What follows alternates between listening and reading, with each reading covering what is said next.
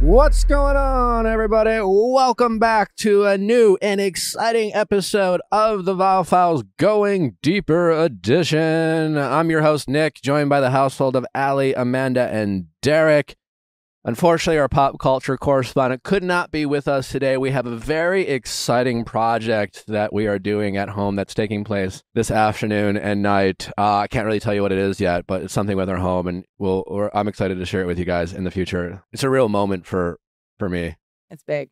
But it's n- it take like I feel like the nostalgia factor. It's a, the, the nostalgia factor is through the roof. No, it's a big deal for Natalie too. I was talking to her about it. She was like, "If you would have told little me." yeah, it's really cool. So, anyways, uh, she couldn't be with us today, but we are hopefully going to hold the fort down uh, in this pop culture segment of our episode. We have the wonderful G Flip with us today. Very excited. Round of applause for G Flip. Recently married G Flip to their lovely bride, Chrishell. Also, G Flip, uh, a new member of Selling Sunset. So we get into all of that with G Flip, their relationship, the wedding. What a beautiful uh, relationship. It was nice to uncover some things about uh, that relationship. Obviously, their very successful music career. Uh, so, all that and much, much more. Before we get into some of our, uh, you know, what do we call this part of the episode? Hmm, I don't know. It Yeah, feels think like about a it. chit chat. Uh, sh- yeah, sure. All right. Well, we'll get back to you on that. Couple of housekeeping notes. Next week, Memorial Day weekend. If you haven't heard already, we want you to enjoy that Memorial Day weekend. We're shifting everything a day in the beginning of the week. So, Ask Nick is going to be on Tuesday, not Monday. And then a very exciting and special episode of Freestyle on Wednesday with James Kennedy, his wonderful girlfriend, Allie. Very excited about that. Obviously, we'll get into all the Vanderpump tea and drama. Thoughts maybe about Ariana. Ariana. I loved how in the Charlie episode, she, we, we all went back and forth. Anyway, um, that's going to be a very exciting episode. That it's on Wednesday. And then Going Deeper is remaining the same Thursday with Mary Fitzgerald from Selling Sunset. A lot to get into. uh, managing partner, man- right? Uh, ma- Mhm. manage- Managing partner- something. Yeah. We were excited to talk to Mary about all things Selling Sunset. Obviously, the drama between uh, Nicole and Chrishell and, and how Mary was thrown unfairly in the middle of all this.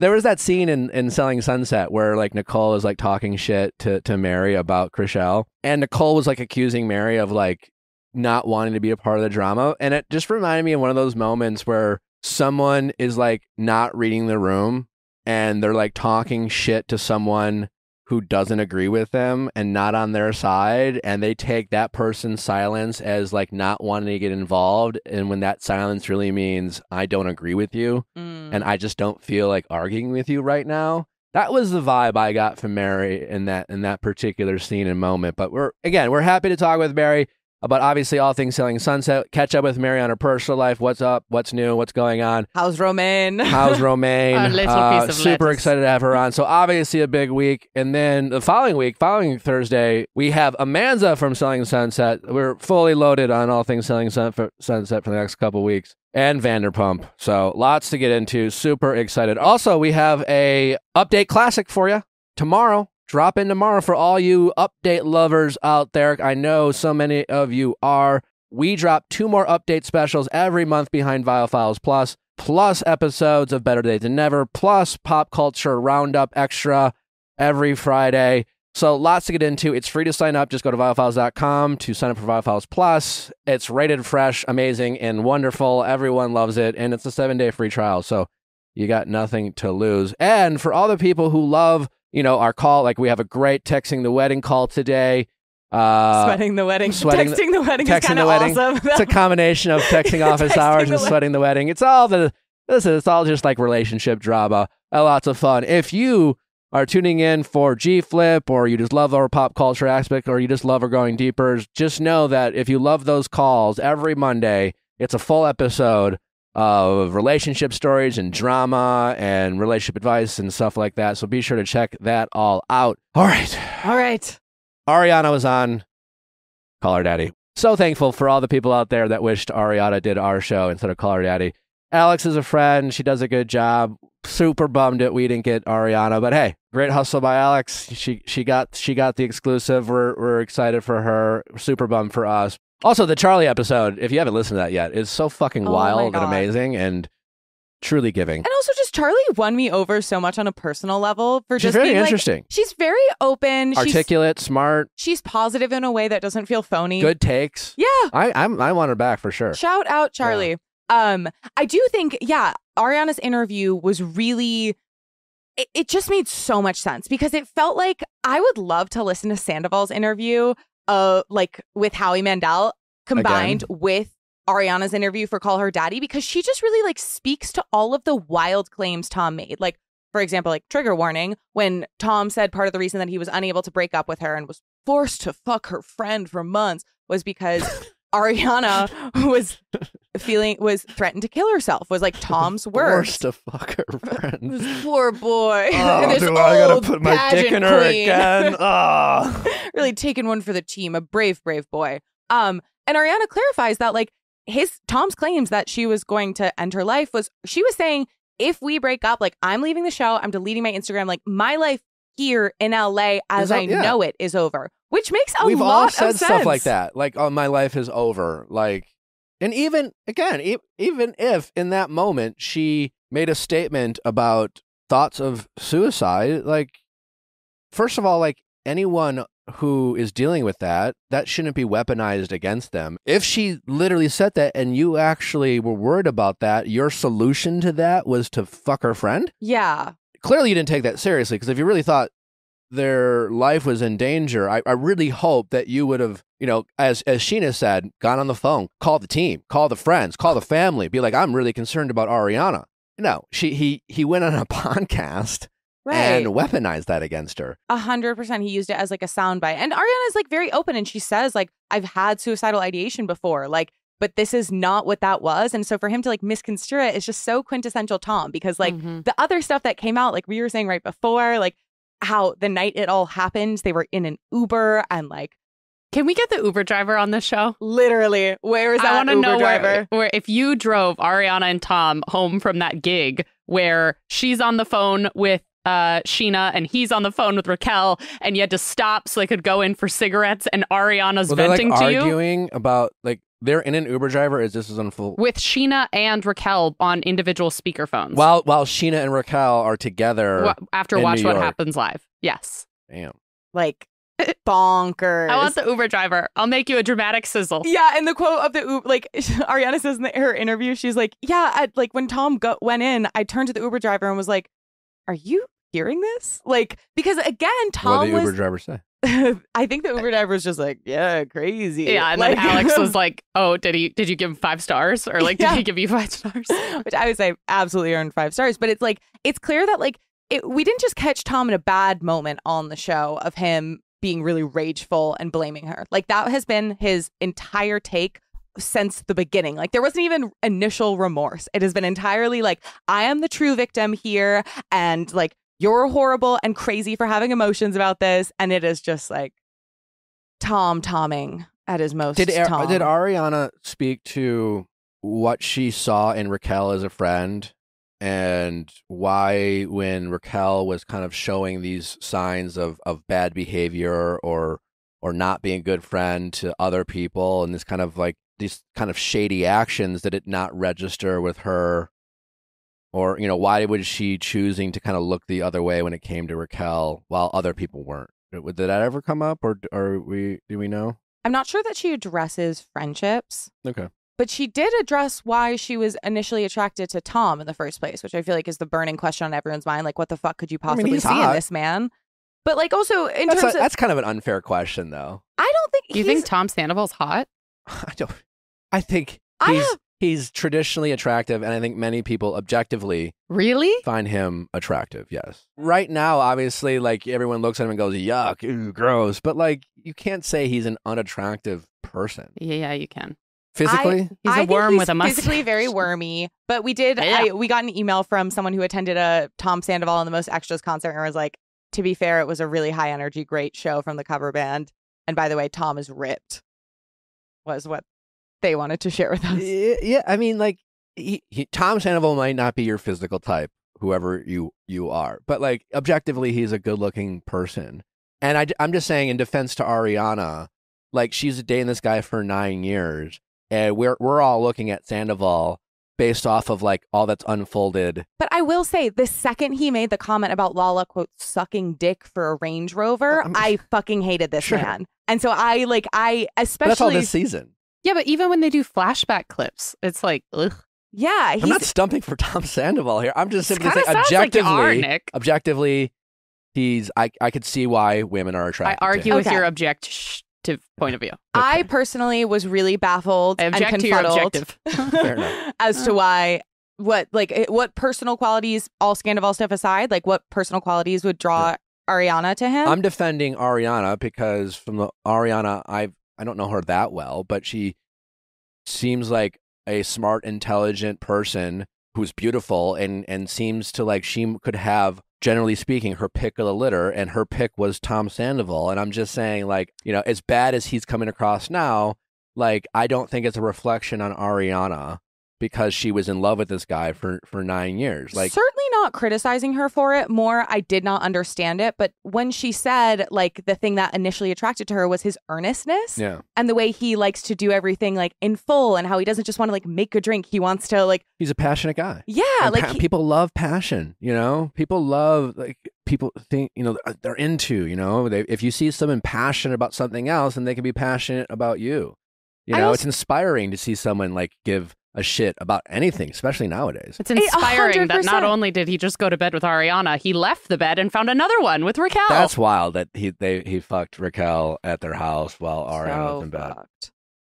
What did you guys think of Ariana's like move false move out that was actually a brand deal? So there are all these photos of her with a U-Haul carrying boxes out, and then it came out that it was actually like the boxes had finance written on them, and she was wearing a SoFi get you, get sweater. your bag i mean kind of and also like brilliant. You know what I mean? When you think about like all the ways that a brand deal could be executed, like staging a move out. So it's all the photos are going to be taken by the paparazzi, promoted on every single news outlet. You don't have to do shit. Like you definitely only have i hope she got i hope she got paid for that yeah, you got to get a big paycheck because you can't be pulling that constantly. Like they, you can only whip that out every now and then. Well, yeah, because there's a level of credibility that she she took a risk to do that, right? She took a risk by making a, a like staging a false claim and making it seem, you know, especially. I'm I'm sure a lot of fans were like, "Oh fuck yeah, Ariana, like you're moving out, you know, whatever." Only to be like, "Ooh, just kidding, I was, you know." And I think it's great. I mean, get your bag, but yeah, you can't keep doing that. So I hope they paid her a ton of money because yeah, you you can't you can't do that. you can't just keep moving That's- out. You can't. Well, not only the moving out, you can't keep making false claims, or do things that people could interpret as And deceptive, too deceptive frequently. for 'Cause you for for you to do ads and things like that. I think it was great. But Yeah. you're threading the needle. You Mhm. A know, hundred and percent. uh, I just hope they paid for the privilege of jumping on the drama. I it, it should. I hope it better been a six figure deal. Well, you know what was a seven figure deal was Jeff Mhm. Bezos' engagement ring to Lauren Sanchez. This is his High school sweetheart, isn't it? I think that was his first wife, right? Don't. I thought, or maybe this is like his neighbor or something. This is the person who he was famously having an affair with before the divorce was finalized But to his first wife of 25 Okay, years. Okay, I don't. Maybe I'm. I'm. I don't really know much, but my understanding is just like. I mean, it's one, one the richest guy in the world. It's like he started dating someone he had some sort of rapport with, which I think in itself is kind of interesting. I mean, at least he's not going around and And you know, this, throwing his dick everywhere. yeah, and this is Maybe uh, I, fuck, fuck, I don't know. this engagement comes after they've been dating for five years. Like a lot of friends were like quoted as saying they're fi- so happy he finally did it, and it makes sense. But sense. he got that- divorced in Natalie 2019. met them. Yeah, really, that's very wild. nice. Very nice people. I would like to say when I was doing a bit of like According to research to, cover this, I will say let's not forget the sexting scandal. Do you remember this when Jeff Bezos like part of, there was a lot of speculation that like the only reason he like got divorced or like kind of fessed up to stuff was he was being blackmailed with like both like images and text messages of his like mistress. While he was married. Yes. Oh. And that was Lauren Sanchez. And one of the texts, one of the, I'm putting sex in like very heavy air quotes because like, I don't know that I would consider this sexy at all. But he said, I love you, alive girl. I will show you with my body, my lips, and my eyes very soon. Like alive girl. Hello? Is he I- fucking robots? Here's the thing. Here's the thing. In defense to Jeff, Jeffrey, we are not meant to be reading people's sexting. It is weird. Go back and read old love letters that you sent. Go back and read old sexting messages to your current partner or former partner. You will cringe about the shit that you said in the moment when you're all horned up, the both of you. It can come across as hot, but it's fucking weird to read like in a dramatic reading. Remember what, what did we have Derek read the other uh, last my time? load. My- Oh yeah. I want you to take my load again and again. Uh, yeah, this is fucking gross. Yuck. But like when you're when you're sexting with someone, like that that that's such a violation of people's privacy. You're not even sexting, like even just trying to spit game. If text messages get leaked about like some move some guy sent to someone or uh, a, message like some woman sent to a guy, everyone likes to read and be like, "Oh, that's yuck! What an ick!" Like it, it, it. it's just like you know what? Fuck you. You know what? They're actually they're fucking trying, and they maybe they thought it was smooth because as we all know, the difference between an ick and something is hot is essentially what you think about the person saying it. Do you think they're hot? Do you want to fuck them? You know, things like that. And it's such a, I think it's such a bullshit move for people to get their hands on people's personal messages that are kind of vulnerable, especially like sexting or trying to spit game, and then act like they're fucking Casanova. That's a valid point. And I think the alive girl thing is because all the other stuff, it's like, yeah, I get it. I'll show you with my body, my lips, my eyes. Yeah, like that's the kind of thing where it's like, no matter how you spin it, and these are very intimate text messages. And I I think say good for. You. I mean, the Je- Jeff Bezos was a, a nerd in a garage like 30 years ago, and now he's like this girl. buff, bald dude. You know, alive. he's girl? like fucking Mr. Clean. yeah. Well, uh, what is this? I don't. Under, maybe I'm not.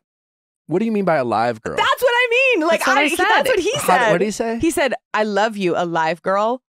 That's what I said. Is he fucking robots? That amazing. He's like Alexa. He's like, Okay, well, given that it's Jeff Bezos, I can see why you think that. If anyone's fucking robots, it's It's him. it's Yeah. Jeff Bezos. But a live girl could be like an inside joke. Maybe she's the life of the party. Maybe you know, it could be a million things that don't include him fucking robots. and we're not supposed to be fucking reading their like personal message. You know, the shit that Natalie calls me. I don't, you know, like yeah. I don't want people reading all that shit, you know? It's it's whatever, but like you could easily go, "Oh my god, like did they really said that to you so early." So, pop off, Jeff. Congratulations. You know, I'm sorry if he cheated, that sucks. Like weird. But like his ex seems to be crushing it. She immediately became like one of the richest people in the world. Yeah, that's what so- um Loot was all about. That TV show on Apple TV Plus Oh, was like kind of yeah. loosely based off of that. That Nick Yeah. Lehman was a writer for. Yeah, absolutely. Friend of Yeah, show. Friend of show. Just for details, like the ring, I think was like 23 carats or something insane like that, and it was on a 500 million dollar yacht. And I just So yeah, bigger than Natalie's. Okay. Yeah. yeah, Ugh. Two point just what? Five mil? yeah, 2.5 million dollars. You're walking around with two point five million dollars on your on your hand. I get you're like the richest person in the world, but don't, don't like that. You're a literal target on your back. Like two point five million dollars. Like, wouldn't you feel like that'd be a little scary to carry around? well, I d- if that was all you had, if that was eh, everything. I'm not You talking know what I about. mean? No, no, no, no. But No, I no. think in in because they're so rich. Yeah, but you're missing my point. It's not about it's not about their ability to replace it or that 2.5 million dollars to them is like a, a nickel. It says that 2.5 million dollars to everyone else they're walking around To this be a earth target. with to be a target of theft or and I'm sure they have security or whatever, but that's the thing like you're literally wearing a target on your hand for if someone figures out a way that's 2.5 million dollars. I mean, literally they sell it on think about what market, happened- not that I know anything about the black market, but even if they had to like sell it at a discount, that's a lot of fucking Pretty money. steep, It's yeah. it's it- I would I get nervous with the ring that Nally has on her hand and it's I mean, compared to that is like a fucking piece of yarn, but there's substantial value to that. It, it makes you a little uncomfortable knowing that you have so much money or wealth or value like so uh, easily out there. It just it it would make me uncomfortable. It's not about them like, whether she loses it or it's it's replacement value to Jeff. It's just that you know there's a lot of desperate people out there. Well, think about Kim in Paris. The I the thing the know. robbers said to her was the ring. That's all they want. That's what they came for. Yeah, I, that's why like wearing jewelry i- in flashy jewelry, like it's it's I'd get scared. Like anything That's though. scary. But I mean, also, yeah. like being on a five hundred million dollar yacht, like I wonder at a certain point if they're desensitized because they're constantly like they have like a They might yeah. disturbing amount of money, so they can do whatever they want. Like, and so they're constantly in these environments that are like must be incredibly secure because there's like these obscene luxuries that like they're having. You know. Oh, well, To, good for him. to conclude, I think a very wholesome story is that Harry Styles. Uh, oh, not the uh, guy who killed his roommate over a hot pocket. Oh my God. Okay, okay. Let's actually do that. There was a man who, in Kentucky, I believe, who allegedly shot his roommate for eating the last. Did they Hot kill him? Pocket. That's him. Shot. he shot. So the guy survived. It, it would appear. Can I see the photo? I Like, thought it was going to be like a 19 year old. no. It's just like a grumpy old man situation. Oh. What like roommate faux pas would make your blood boil the most, like make you most enraged? I mean, just in general, my roommate like faux pas would be like leaving standing water or food in the sink. Clean your pots and pans. Yes, people. You know, respect the common area. You know, other than that, like I have a pretty, I had a pretty casual roommate policy, which is just like, this is both of our houses, and you don't want to. And like, I think this is a golden roommate rule for anyone listening is who's about to move in with a roommate. You, like, it's your place, but it's also their place, and the more rules you fucking have, the more likely both of you will not feel comfortable in your own goddamn apartment or house. So respect the common area. You know, if you want to be filthy, be filthy in your room, but do your best to respect the common area. No standing water in the sink. And when it comes to things like food and clothes, I think it behooves you to have a generally open door policy. You might have to finagle that a little bit, you know, because like one person, you know, but it's just like I would always say to my my friends, like, listen, if you like like my clothes, like help yourself, whatever. Like put it back, don't, you know, if you ruin it, replace it, whatever food wise, it would be like, you know, a lot of frozen pizzas back in the day when I was in, in my 20s. And it's just like, man, like just replace anything you eat in a, re- you know, in a reasonable time, you know? So it's like if they eat the frozen pizza and don't replace it two weeks later, that's fucking annoying. But like, you know, if you start, you start labeling your food in a fridge. That's not a house that I want to live in, you know? Like this is, oh, what that's mine and that's yours. Stay off limits and everything's labeled or, you know, it's just, it was more like you want your fridge to be your fridge and you want your house to be your house. So like, I always like, I always thought a general, like, what's mine is yours policy within reason as long as we're respectful. But like, that always worked well. And early on, I- had a like a kind of anal roommates early on where I was like, I don't want to be here. You have all these like Yeah. rules in my fucking house. Like, you are militant with your yeah, enforcement. it's I just also like I feel like whoever labeling their food. It's like, you know what? I don't, this is, fuck you. Something else I've observed is that whoever has like the most like stringent cleaning standards, I feel like has moral righteousness. Like where they're like in a good way or you disagree? in a way where I'm like, I think it should be more of a conversation within reason. Like in terms of I think with like certain cleanly like bacteria, germs, countertops, like standing water, stuff like that, like I'm all for like, yeah, kind of a non-negotiable, gotta keep it clean. But like if somebody likes for there to like not be shoes by the door or like for there to like never be anything on like oh yeah, fuck you. but I feel like whenever I've had those kinds of conversations with roommates in the past, like there's always this kind of like, and I'm cleaner than you, and so therefore I'm right. Yeah, you're a nightmare. If you are an anal person who has very particular cleanliness habits, that's on you to make sure that you either live by yourself or you live with someone who shares in that policy. But like, yeah, like to sit there, and move in, and then start throwing all these like And like try to shame your roommates Yeah. because it's like, no, it should be a total conversation, compromise, negotiation. And But I just also, like everything else, upfront expectations before you move in with people. Like you just say, I'm a little messy. I'm not filthy, but like what's mine is yours or not. Like, do you label food? Like you have to have these conversations up front, uh, or or otherwise, yeah, because you're you're not going to get your roommate, your 22 year old roommate, to drastically change their habits you can't change them. Yeah. you can't. because you are uh, OCD in in in in terms of the cleaning department, but.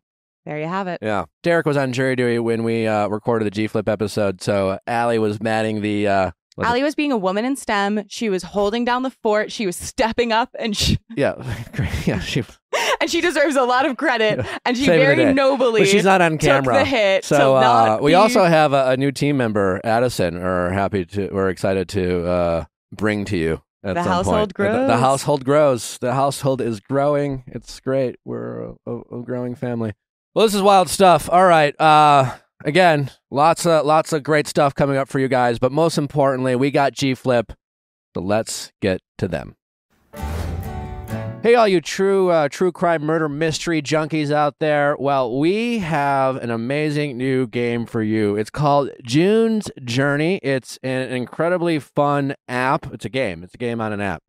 And you basically get to solve crimes as as June Parker, the legendary June Parker. Dive into June's captivating quest to uncover a scandalous hidden family secret. Escape to a bygone age of mystery, danger, and romance. It's June's job to discover the truth behind the unexplained death of her sister. Oh, always the sister.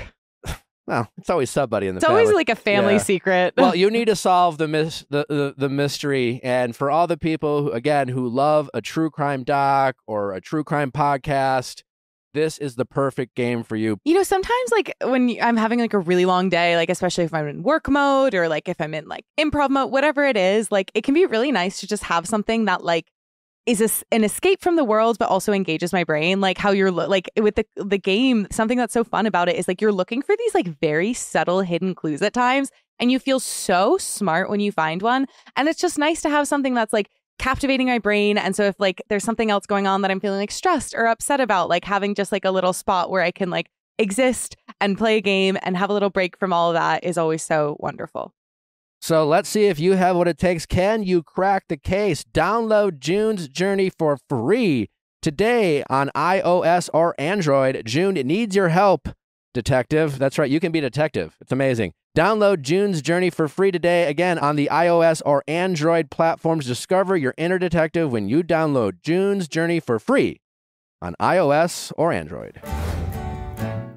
Gee, welcome. Thanks, mate. How you going? Uh, I'm doing well. Uh, we usually like to start these uh, interviews with uh, I ask my guest the question, "How is your heart?" But you are recently married, Yeah. so I presume your heart is full of love. Is that accurate? My heart is warm and feeling cute. All right. Well, congratulations, by the way. Just big round of applause for, Oh, for G bro. and Chrishell. Yeah. Thank um, you. Yeah, I was so excited to to see the announcement. Um, it seemed like it was kind of a surprise to the world. How much planning went into this? Like, can you give a little inside scoop is to the wedding of, of G Flip and Chrishell? How did it all come to pass? Uh, it was very unplanned and very untraditional. Okay, love that. I'm Um, I recently got engaged. Did uh, ya? Well, in January, and so Congrats, man. Yeah, thank you. But I'd love to hear your kind of wedding process because I'm I'm taking notes from anyone who's willing to like share their story. And oh, well, not a lot of planning went into it. I, I, as a non, non-planner, love that. yeah. I'm I'm super into the non-planning. yeah, Chrishell's already done like the, you know, big traditional, a lot of planning wedding before in her life. And um, yeah, I'm not big on traditional things. Um, and obviously, just me and Chrishell being together is super, you know, to some people very untraditional. Um, but yeah, it was, um, you know, day of. We just picked outfits from our closets. Not much thought went into the outfit, you know, planning that for months or anything. And then, um, yeah, just went through with it day of, and it was honestly the most fun and beautiful day of my life. And it was the most exciting and like the best memory I have in my group of memories. That's from that's incredible. How like how did you both decide to do it? I, my my fiance and I were watching The Office. Mhm. Uh, have you ever seen The Office?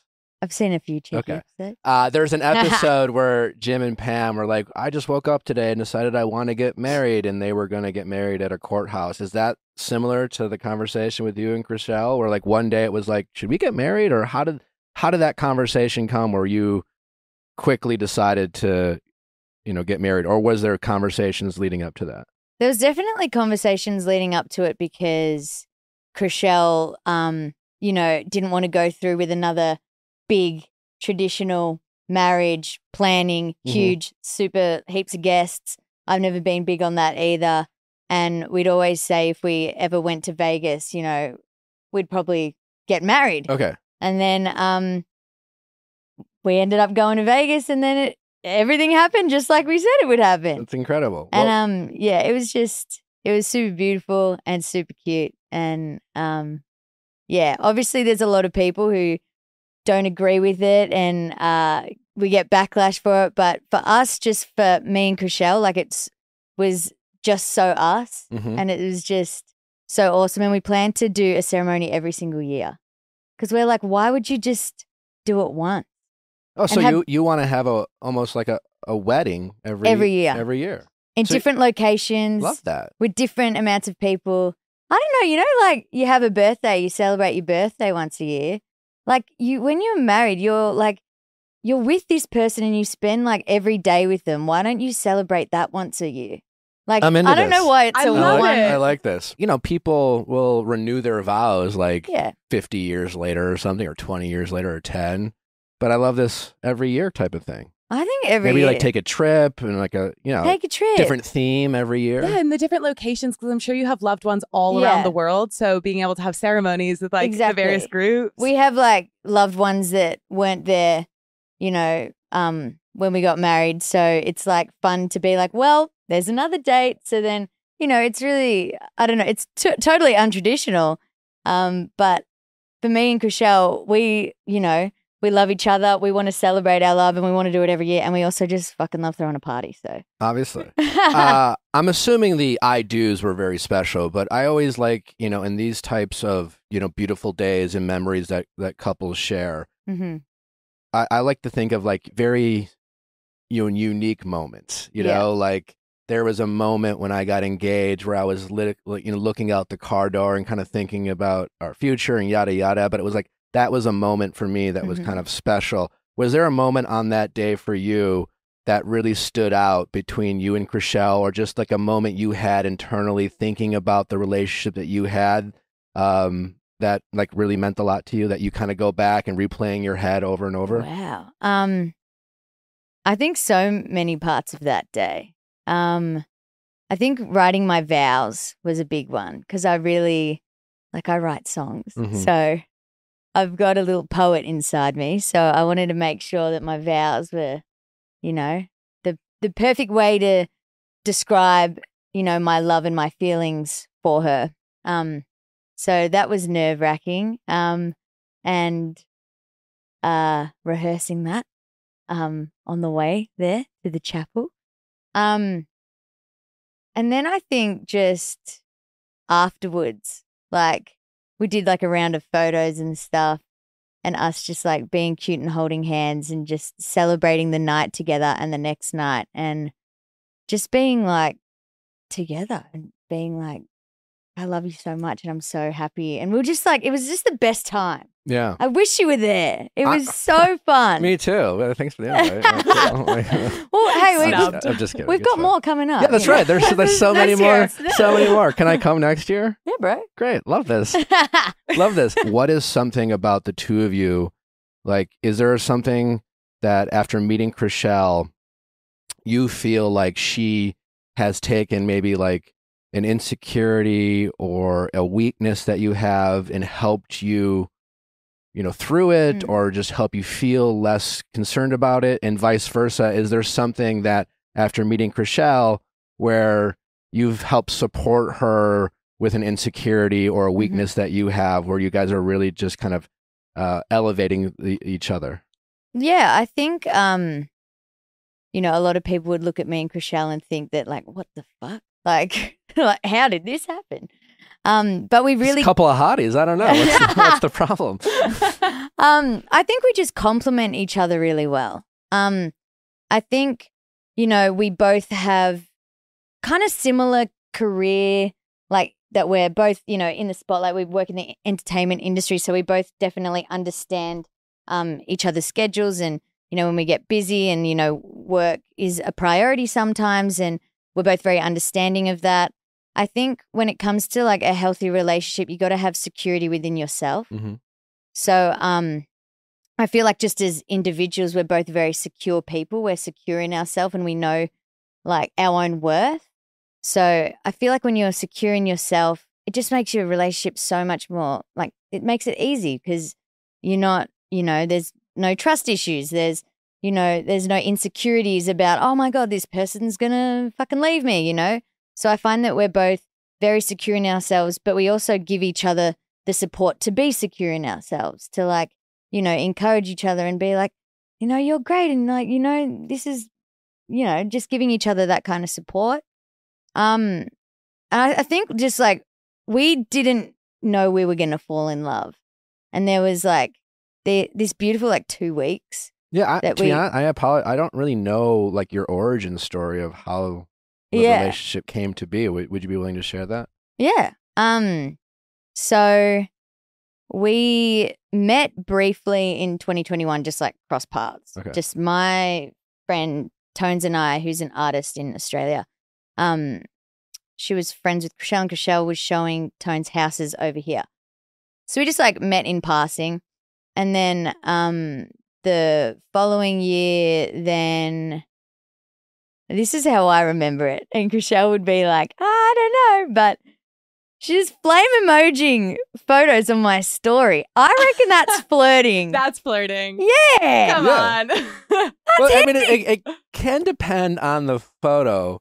No, you're right. It's flirting. no, flirting. the flame emoji because as specifically. as as an en- as an engaged man or someone in a relationship, I'm very careful with my flames. Right? I don't I don't throw out flame responses. You got to be careful with your flames. Yeah, you got to be careful with your flames. Like if it's a buddy of mine, you know, I, I know, you know what? You're right. Flames are flirting. I don't think I've ever sent a buddy a fl- well, maybe I have, but like I'm joking flirting with him. Yeah. Yeah. No, it's a flirt. it Yeah. is a very What did flirty what, did- what did Chrishell call it? She was like, I flame all all my friends, and I'm like, I'm a lesbian, like wearing a bikini, like, like I'm like, like over. I don't know. I just I just took like when there was a few in a row. It wasn't just like one cheeky one. Um, but I thought that was a little bit flirty. Um, and uh, then me and I think I messaged Chrishell because when we'd previously met, um, she was super friendly as she always is, and I was talking about how I moved to the US and I'm still like trying to find my place and like trying to make friends. I feel like when you move to a new city, it's really important you make like a foundation and find like a friendship group just for like mental health and Mm. just for living. Um, and I remember telling her that when we like met briefly, and then um, so I thought she was like being a little bit flirty, and then I was like, um, hey, do you want to catch up? Um, uh, and then something came up that I wanted to still meet some friends, and I think she asked, do you like, do you do you want to meet some of my friends? I remember you, you know, trying to meet people over here. So she actually threw a party for me to meet friends, which Oh. I Oh. thought was very Generous, um, yeah. very nice. And I didn't believe it was like for me, but it was because she's just like so cute and nice. And she's like, I want you to meet some people um, with a cute little smile. And then I came to that party by myself. And then I met heaps of really cool people that I am now like close friends with. Um, and then me and Chrishell were flirting a little bit. And then we made out that night. And then, but we made out in the pantry. Um, Uh, we love a good hot secret pantry makeout. It was a sure. secret up against the protein bars and the dog treats. It was hot. um, and then it was uh, a few weeks later. Then I played a show, and then we had a little cheeky makeout after my show. And then I was like, "Well, that was cute. I'll ask her on a date." And I texted her, and I was like, "Hey, do you want to go on a date?" And then she was like, "I'm sorry, I'm straight." And then I was like, "Oh." We've been making out a lot for you to be straight. Um, That's weird. you know, I think everyone can be a little bit, you know, fluid in their sexuality. You know, I feel Mhm. like so many people grow up with this template that, you know, heterosexual kind of template just in life that, um, you know, people think, yeah, go to college, then you get a job, then you find your husband, then you have some kids, and then that's how you live. Um, but sometimes things don't go as planned. And um, then I was looking for a house to rent, and then I clicked Chrishell some house links because I was like, is this a good price for this area? I have absolutely no idea. She's in real estate. Yeah. she's in real estate. And then Chrishell offered to take me to like to meet me and go to all the houses. And then um obviously some flirting went down. And that's when Chrishell says that was the moment that she was like, Oh, I feel some hectic feelings that I normally feel for boys, but I feel it for G. Um, and then, yeah, then we just kind of like started low key dating, but it was very like I wasn't looking for a relationship. Chrishell was going to go on like a show that was like The Bachelor, Bachelorette. She was going to go on a show that was like for love. Really? Yeah, she was ready, like signed up later in the year. Chrishell was going to do a different reality TV show The Find- centered around Finding looking for love. Yes. Do you know the name of this show? Was hasn't been a show before. I think it was like a new show. Has it come out? No, because she didn't end up doing It it. was she. They were going to base it me. around Chrishell. Yeah, she was going to be like the, The you know, the lead. person that everyone. Huh. So we I mean, I'm so happy for the two of you, but I really want to know what that show is going to be. Yeah, I don't know the full de- details, but I know it was a show that was like, like you know, Sure, like yeah, the, you know, you got to Something win her heart around- over. Chrishell being the center and Yeah. a bunch of people. So we did not plan to fall in love. It was we were just like low key dating, and we knew that you know at some point she was going to go do this show, and it was going to be this cute little memory, and then um the show changed to um gender diverse people as well because she you know realized that oh I can have feelings for people that aren't just I don't just identify as male. Um, and then we kind of we just fell in love. We just and we were actively trying not to, both of us. But then it just happened. How how are you actively trying not to? Well, because we knew that she was going to go on this show. so Sure, I was like, there's no point falling for her. I'm just going to get you know my you're heart. screwed as soon as Yeah. you're like, we can't, we can't fall in love. It's Yeah. forbidden. Forbidden. Ugh. Was- Yeah. Was there any part of you uh in the period of time when you'd asked Chrishell out and she'd said like, "Oh, sorry, I'm straight." Like, Mm. was there any part of you that felt rejected in that standpoint or that was sort of because it seems like so confident and cool that you were still down to be like, "Yeah, send some links, like stay in communication where I think it can be so easy to retreat after it feels like there's any kind of like mismatch in emotion." Like, what was that? Did that inform any of your relationship? me and Chrishell already got along really well as friends and had like like we already like had a friendship and we our banter's just like fire like we just get along really well just as individuals and as souls so um it, it, I didn't feel rejected also because yeah we'd made out twice so I was like you know I to it just it didn't hurt my feelings or anything I was just kind of like I don't think you're straight um I knew that we were still going to be friends like I didn't like then like ignore her or anything. Like she even said like I'm sorry I'm straight, but I still really want to be close friends. Like we get along so well, and like I don't want this to affect anything. I was like, yeah, no worries. But then we went and looked at how like she helped me look at houses, and then then we just like every time we hang out, there's like flirting just went down without trying. It was just too like it was just our connection is just so easy. It was just like electric feeling. Does Chrishell have like a go-to flirting move that you just love? That like you like she does this thing and you're just like ah, it gets me every time. I think at the start I was more of the flirty person, or I just like joke around, you know. And then I think as she got a little bit more comfortable and confident, then she just would dish it back. Unless like the first two times we made out, we were a little bit tipsy. Then like, you know, then it's just like banter. It's like heaps of banter, and then we're just kissing. yeah.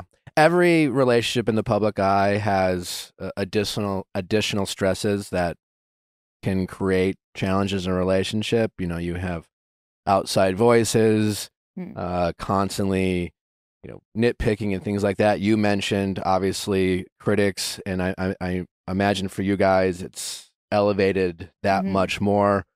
Um, I know obviously the the the best answer is just ignore it and things like that, but even like for Nally and I, just every once in a while, like like someone kind of breaks through that kind of barrier of we we just just ignore the noise type of thing, Mm. and it kind of almost seeps in to the relationship where you can tell one of us is stressed about something Mhm. that is a result of just the public being the public.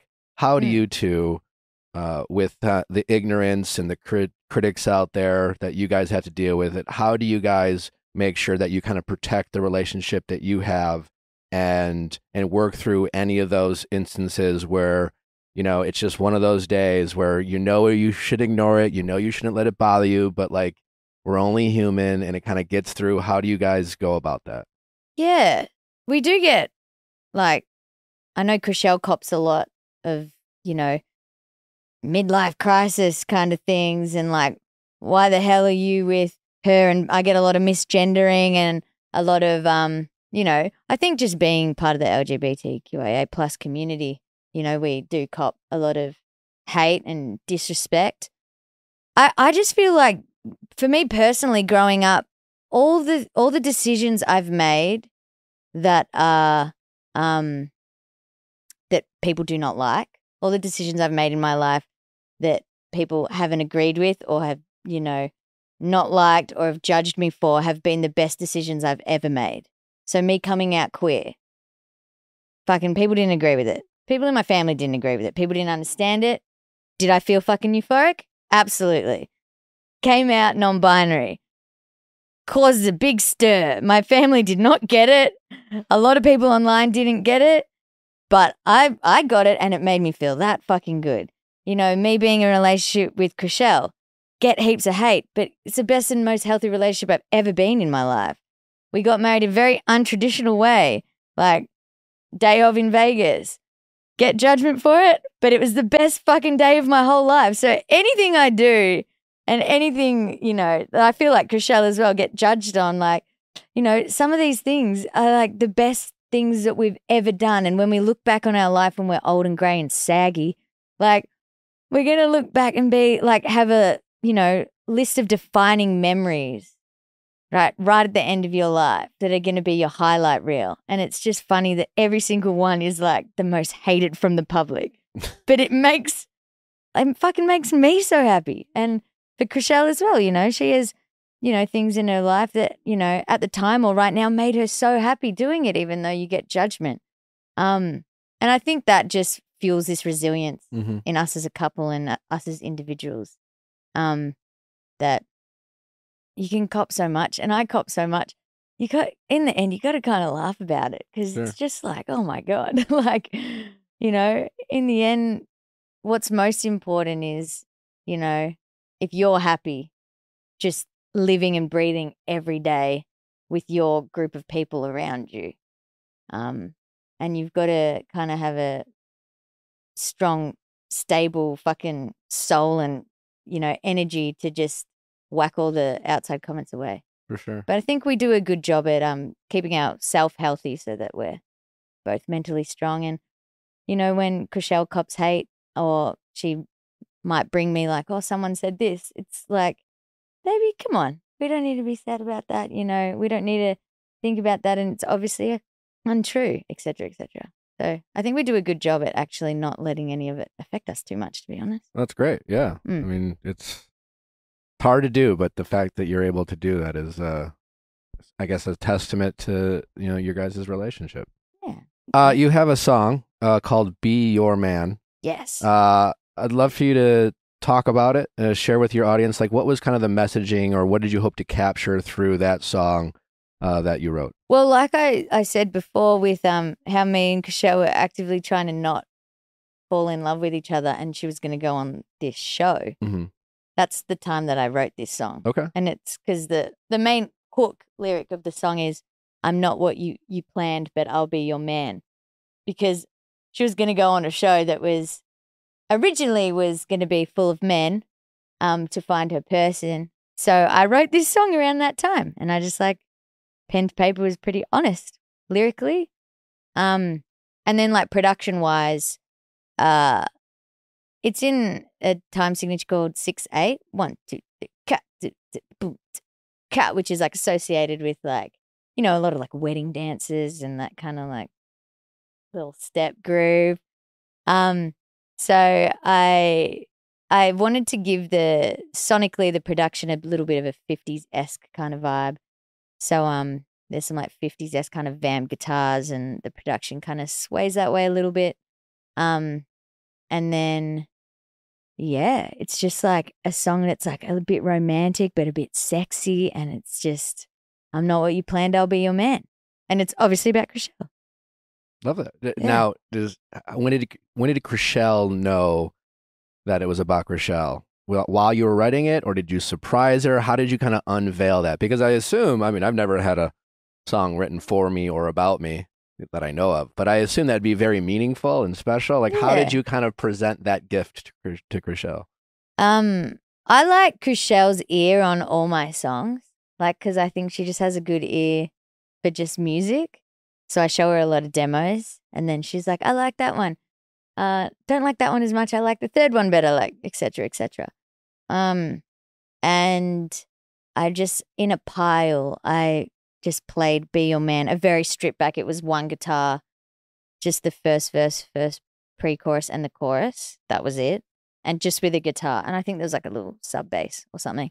Um, and I played that for her, and straight away she like looked at me and she was like, oh, "This is my favorite one." And I was like, "Oh, it's about you, darling." she was like, "No, it's not." I'm like, "Yeah, it is. Listen." Um, and then yeah, I didn't show. I went and finished the song over the next.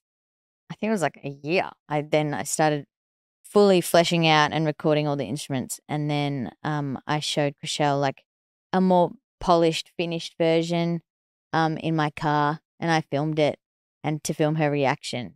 And then, yeah, then she heard the more finalized version, and now it's out. It's Yeah, amazing. It's a great song. Um, Selling Sunset season six just came out. You're on it. I am. how like when you started dating Chrishell, uh, what were those conversations like for you to consider being on the show? What has that experience been like? There's certainly a lot of drama. Have you watched it? Oh yeah, I have. Yeah, Hectic drama, hey. lot- yeah. it's hectic drama. and Chrishell was out posting.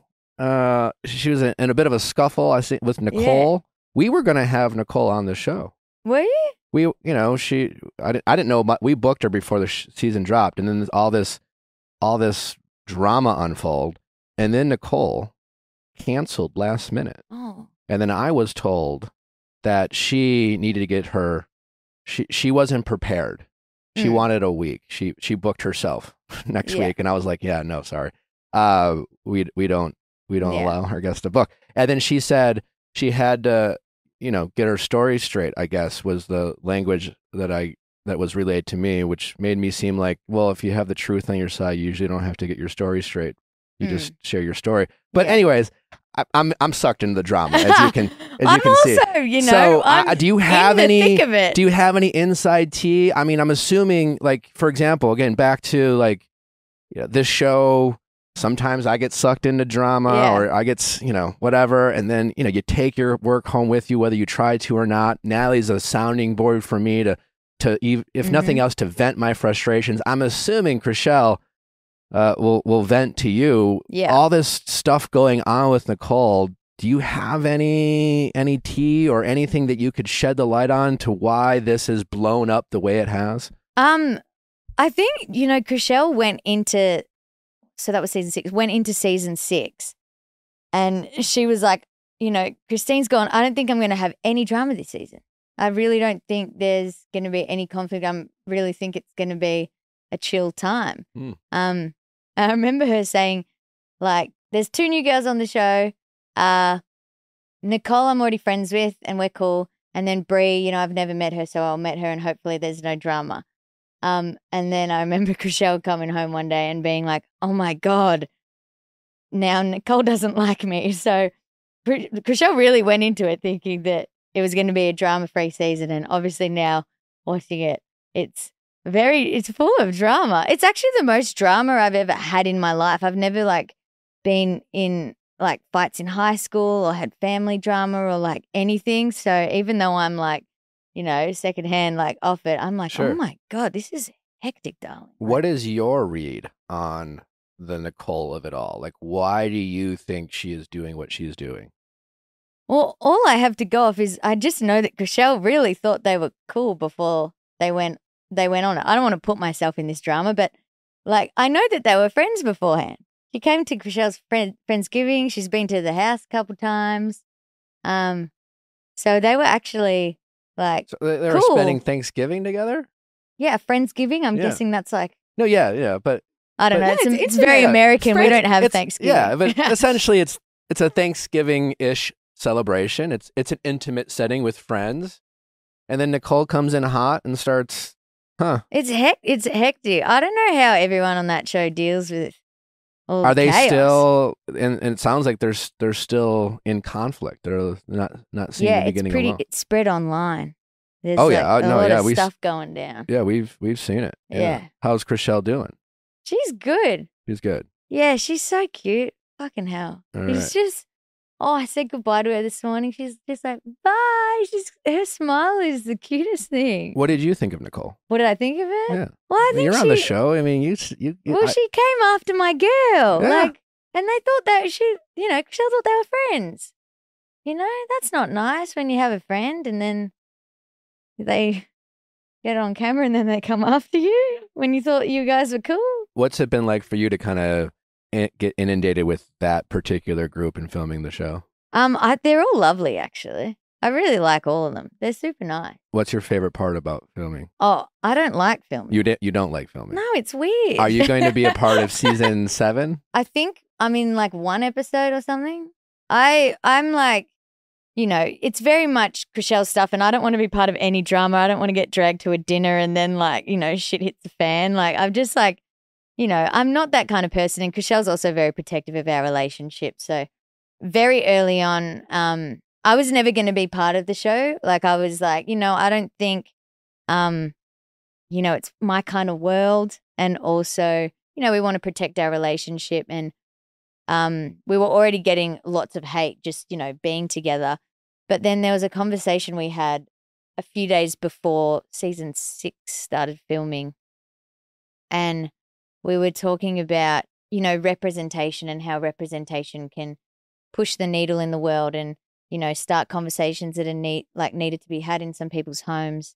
Um, and just a representation of loving queer relationships on TV Mhm. and me being non-binary um we we decided that okay maybe if we do some scenes it just is us two together to just um represent the queer community and you know maybe it might start a conversation in someone's home about what being non-binary is and you know etc etc so then we agreed to do that but agreed to have no drama on me not coming to you know dinners or the office or anything we just kind of oh, like if you didn't show up, the like the rest of the the the gang couldn't be like, why isn't G here? Is there Yeah. something going on and like Yeah. shit like that? yeah, it- Yeah. that- that's just because I just I don't really I'm not a dramatic person. I don't do conflict. I'd rather just like sit down and talk about you know why are you upset? Why am I upset? Let's work work this out. Our you know the conclusion should be that peace and harmony. We work this out. I'm Yeah. just like if someone's going off at me, I'd just be like, oh, I- I don't know. There, like it just wouldn't work. I'm just yeah. It- Is is with Chrishell in the show? Is is she more conflict? Um, not avoidant, but but yeah, like she clearly is able to defend herself. Uh, I've I've seen many people call season six the season of Chrishell. Like see, people really feel like she's shining. It's just her Mm. moment, the way she's standing up for herself. Is that something she's able to turn on for the show, or or or in life is she more kind of like you, kind of avoidant of conflict and removes herself? But obviously, with the show being what it is, yeah. you you can't necessarily just walk away. Well, Mary seems to be also she really hates conflict too. But yeah, how is Chrishell off camera when it comes to conflict? Chrishell, you know, doesn't want conflict or drama. That's what I said before she really went into the season thinking that there wasn't going to be any because she's like, I don't have, you know, beef with any anyone or a reason to.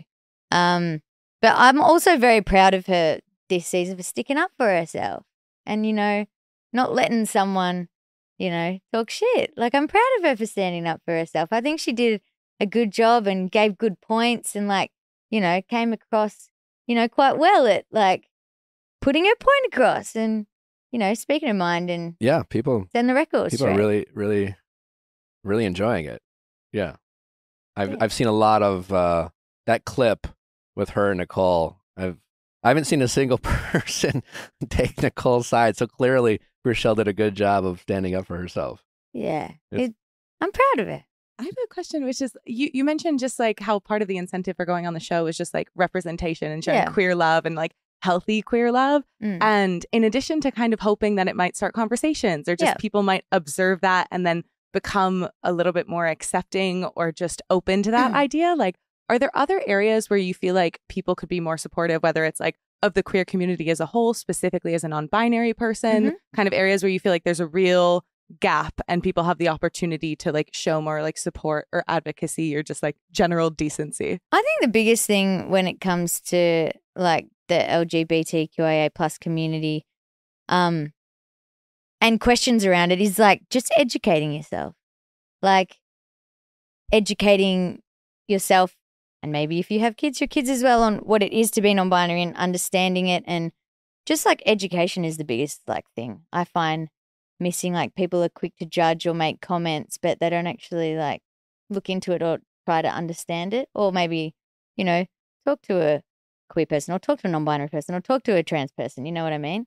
Um so i think education is always the key. Can I can I ask you a question? to Educate myself? Because I Fuck don't yeah, I don't know the uh, answer because I was you know you just got married and then people were for like in a heterosexual relationship, husband and wife. hmm How as a non-binary binary person, how would what would what would be the language or the word to describe? Is it like spouse and wife, or do you guys go by spouse and spouse? What would you suggest? obviously spouse is a good one um partner is still a good one uh we we use and i think we kind of made this up but husband like a, Husband, husband it's like a mixture of wife and husband. great. yeah. Husband so wife and husband like Chrishell says my husband which I think's fucking cute and like people can hate on labels and everything in the end it's just a name. I like being a husband How, and and how are you with if if someone misidentifies you and says Mm. her or something like that? How, how do you handle that? Or what would be if they mess up? Would do you prefer someone just to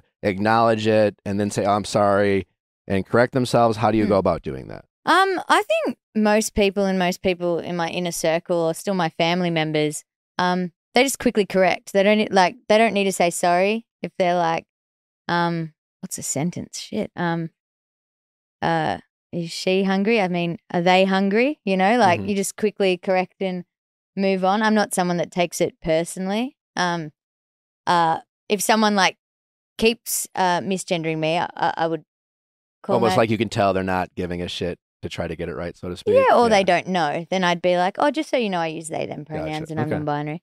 Um, but yeah, I think like it's it, everyone's still learning. You know, yeah, I, I would never like get pissed off at someone. Everyone's still learning. Like my parents are still, you know, learning and getting their head around it. Um, and I think my parents at the start really were like, what? And then they've they've seen that like more and more people are coming out non-binary, and it's, you know, like the world's changing and um so now they're they're understanding it more and they're using my proper pronouns it's cute um but yeah i'm never someone to uh, get angry quickly um correct someone or or if someone if you use someone's wrong pronouns just correct yourself Other than making music, what Mhm. are some of your passions outside of work? Are you into pop culture? Like, what are some of your guilty pleasures in life? You know, what do you watch on TV? What What are you into? oh this is i struggle with this and um my therapist also thinks that i need to get more hobbies so because i just do a lot of music because i like playing various instruments um and progressing in all those instruments but then i also like producing so like sitting on the laptop and using plugins and stuff I don't have a ton of. I like to work. I like to do what I love. You know, i just do it a bit too much you think you do it too much? Yeah, I do it way too much. It's all I ever do. It's all I like. I just do it like I think it's a little like healthy to have other things to do. Actually, there is a hobby I have. Uh, Australian uh, my Australian Football League. It's called AFL. It's a sport that's not like NFL or soccer. It's, not like- soccer. and it's not rugby. It's its own sport. oh, well, how did you're familiar with it, Amanda? I am. I did s- nine months in Sydney, so I feel like I have a vague sort Holy of familiarity with shit. that. Can do you, you- how? it- What is it? Describe Oh it. my god, it's the best fucking sport ever. Okay, basically it's a huge oval like huge. I think it's bigger than an NFL field, soccer field. Um, Okay, so the Huge playing arena. surface is an oval. an oval, yeah. Uh, it's kind of a combination between mm, soccer, rugby, basketball. It's just a lot of sports in one, basically. But um, you have two teams. You have two goalposts and then smaller goalposts. If you get it through the two middle ones, you get six points. If you get it on the outer two posts, it's one point. And basically, you just got to kick kick the ball through and get a goal, and you get six points. But you can tackle each other. You can handball. You can kick. You can just run with the ball, but you got to bounce it on the floor. And um, there's no padding at all. And So- it's a, is it what in the? It's a round ball like a basketball. No, it's kind of s- more similar to an NFL ball. interesting. That you have to bounce. You, if you take, I'm not sure how many steps. It's like eight or twelve or something, and then you have to bounce the ball on the floor. Do we have a clip of? This yeah, whack a clip in there. It's Yeah. fucking awesome. I was trying to tell Jason and Brett about it on the weekend and get them to watch a bit of a game with me. Um, they love sports, and they both were watching it. Like, So have you become good friends with Jason? How was that with yeah, the him being an ex? that's it's totally cool with me. But I grew up with uh, parents who divorced, split up, got new partners, and then we all hang out together. Like my four parents go on holidays together. We have every birthday, Christmas together. So I've come from a, you know, I think um, a broken home that um, still has healthy relationships with their exes. I mean, yeah, it, makes sense. I suppose if you grew up in that environment, I guess the it told you that people can end relationships and move on and still Mm. be happy. I think sometimes we have such a hard time Mm. um, hearing about our partner's exes is because we have it ingrained this kind of one and only Yeah. type of idea. But that that's not doesn't seem to be something that has ever bothered you. Then No, I feel and like Jason and Chrishell, like they're they're just really good friends. They were friends before they um, became partners. But I think it also comes down to, you know, your trust and security with your partner. Like obviously, if I was like, I don't know, wasn't secure in myself, then I'd feel weird if they went and got lunch or they went and hang out or they go film together. But like, I'm totally, totally cool with their relationship and their friendship and we all hang out together. We've been on double dates with Marie-Lou as well. Um, and I just think they're all, they're awesome dudes, Brett and Jace. I like them. They're funny. Yeah. We went to dinner on Saturday night. It was cool. uh, nice. What was the highlight? Of the dinner? Yeah, did you guys talk shop at all, or do you guys? I mean, My, me, it's one of those things where it's like let's not talk about work or the show, and then it always like halfway through, you know, it's like the it ho- always seems to come up because obviously this weekend the the the the season dropped. Um, Yeah. Did any work stuff come up? some work stuff came up, but then I think we all just like talk a bit of shit. I was trying to convince them. what was the shit? People want to hear the shit. Oh, I was trying to convince Brett and Jason to be my backup dancers at my LA show coming up later this year. I was like, it'd be fucking hilarious if you boys came out in tank tops, like full Channing Tatum style, Yes. and were dancing and then just like rip your tops open. And Brett is so down. Brett's like, let's go to um flo- the floor room. Is that what it's called? Floor room? I don't Mm. know. He's like, let's go to the floor room now. I'll show you my moves. So um, I'm on a text chain with them, sending them dance videos. So they're open to it. Is Jason has Brett is. I don't know about Jay, but that makes sense. I feel like I feel like Jay is more tightly wound. yeah, Brett's definitely more of a loose unit. 100%. What's your favorite tattoo that you have? I like Kylie thinks I'm cute. You know Kylie Minogue? Love. Yeah. She said I was cute. Did she? Yeah, I got it tattooed the next day. Honestly, I love that. She said I was cute in a podcast. She said G Flip's pretty cute. Really? Yeah, I got it tattooed uh, straight if away. If I call you cute, will you get a tattoo? Hundred percent. Nah. Actually, BK, I do, I do, uh, I might. I don't know. Yeah. I'm pretty loose with tattoos now. I've got so many. How many do you have? Me and Chrishell counted um not long ago. I think I have 79. 79. I got- okay, way more than me. I played a game with Chrishell. I got a tattoo of her dog's face on my leg and I played a game on the couch. I was like, "Hey Chrishell, can you help me count how many tattoos I have? I'd just like to know." And so she's counting and then she comes across The new Gracie. Yeah, her dog's face I have like here on my leg. And she was like, What? ah, oh my God, baby! Gracie! So yeah. so much about successful relationships is communicating expectations and boundaries. We talk about it over and over on this show. Uh, what are some uh, expectations or boundaries that you and Chrishell have communicated with one another uh, that really makes your relationship work? Like, how do you guys make sure, you know, e- even with Chrishell and, um, and her first career relationship, I'm assuming there's a lot of yeah, just like maybe things that she wanted had questions about, like you know, you being friends with other women or her being friends with women or men. What are boundaries? Again, you you're not a very jealous person. How do you guys communicate that and Mm. just make sure that you guys are always on the same page, so there's never a misunderstanding of intentions and things like Mm. that when you're kind of out and about in the world interacting with people. You have Mm. fans, she has fans, and things like that. Mm. And how do you set up those expectations and boundaries? Um, I think, like you said, just commu- having healthy communication. Okay. Um, I think we've had a good job throughout our relationship from the start, having healthy communication. I think at the start, me being non-binary, Chrishell had a lot of questions, and being in her first queer relationship, um, you know, even her asking questions on and confiding in me on how she now identifies because she's like, I'm with you, but uh, you're um, non-binary. Am I lesbian? Like, how do I identify? How do if someone misgenders you, do I? Do you want me to step in and say something? Like, you know, like she had a lot of questions coming into it because obviously she's never been with someone who's non-binary or in a queer relationship at all. Um, so I think we had a lot of communication at the start about all of those kind of things, which I think was super healthy. Um, but yeah, overall we, yeah, we we talk a lot. We communicate a lot. That's great. Yeah. Uh, and on on the show, is there anyone that you've gotten to meet that you think is um, different than how we've gotten to know them on the show? Like, who's the most? This is what you see is what you get, or and and someone else versus like, yeah, you know, they're a little looser, or a little more chatty, or they're a, or a little bit something else that the, Mhm. the audience doesn't get to see when we're watching Selling Sunset. I think everyone is exactly how they are on the show.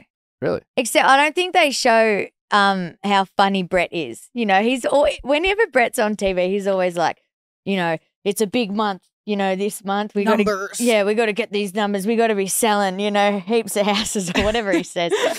well, I- heaps I of think- houses. Yeah. you gotta sell heaps of houses Gotta today. get the numbers for the houses. but no, I think every single one on that show is exactly how they are, honestly. And Really? I, I like, I thought, you know, being such a big reality TV show, I thought people would be totally different. But I think really everyone is, um, the the same. I've never met Nicole, so I don't know, and I never met. I you never met Nicole. No, and I never met um, Christine, who was on other seasons, Oh yeah. and I've never met. I think that's all the people I've never met. Yeah. Um, but everyone so far that I hang out with and know they're exactly like they are. Do you know if Chrishell is hoping to mend this relationship with Nicole, knowing that they were friends before, or is she just kind of done with her at this point and kind of sworn her off? I don't actually know. You You don't have know. to ask Chrishell. I think like right now, because the drama's piping hot, I think she's a bit over it. But you know, in the end, Chrishell's like just kind of wants to have peace and like isn't someone that wants to like dwell on and something be so draining, like you know. So I'd think that she'd just want to give it up at some point. But I think Okay. right now, because it's spicy and everyone's talking about it. I Yeah. don't know. But Yeah, the people want to know. Uh, before we get to our caller uh, for Sweating the Wedding, very important question, G. yes, What is your favorite smell? Oh. And what do you think it says about you? my favorite smell. Yeah. Oh, I was gonna say I love Chrishell's perfume. Okay. Is that a corny one? No, there's no wrong answer. Great. She What does it think it says about you? I guess that you're in love. A loving or- husband. Yeah, a loving I'm a husband. loving yeah. husband. Do you have any uh, other than the smell of Chrishell and her perfume?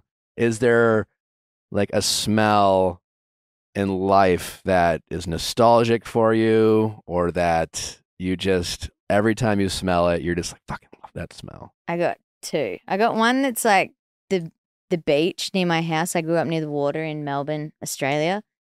So like the smell of the ocean. And then the other smell is just like I love being on the road and playing in bands, and like I've done that for majority of my life. So like, just like a stage sweaty smell, Okay. pretty gross, little but like kind of. just like being on stage and like Yeah. giving it your all and just hitting the drums hard and you know No, that makes total sense. just like, I, a stage I- smell but also like the smell of like um like a stage smell is like a bit mus- musky and sweaty but there's also like the fog machines have like a certain smell and like just like a bar kind of beer kind of smell Sure, as well Yeah. is that gross Az? No, not at all. There's no wrong answers. Like I used to ru- compete in track and field, and like the smell of a track, which is not exactly like good.